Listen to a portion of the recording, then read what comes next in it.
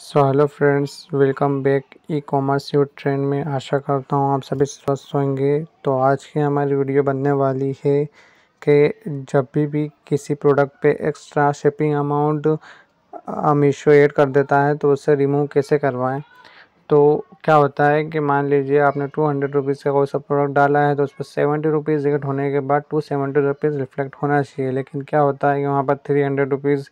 या two ninety rupees या four hundred rupees ऐसा अमाउंट रिफ्लेक्ट करता है मीशो ऐप पे। तो आप उससे हटवा सकते हैं तो उसमें उसको हटाने के लिए आपको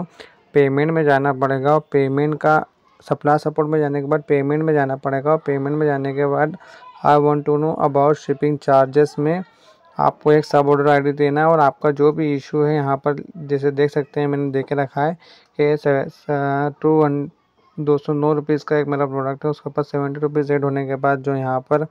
अमाउंट रिफ्लेक्ट होना था, वो होना था टू एटी नाइन बट मेरा उस पर two ninety eight rupees reflect हो रहा है। तो ये जो एक्स्ट्रा अमाउंट है, ये क्यों रिफ्लेक्ट हो रहा है? मैंने इनसे क्वेश्चन भी करा है प्लस ये जो इस चीज़ को हटा भी देंगे। तो हमारी ये वीडियो थी, आप भी चाहें तो अपनी इस चीज़ को हटवा सकते हैं, और मेरे चैनल को लाइक सब्सक्राइब करना ना भूलेगा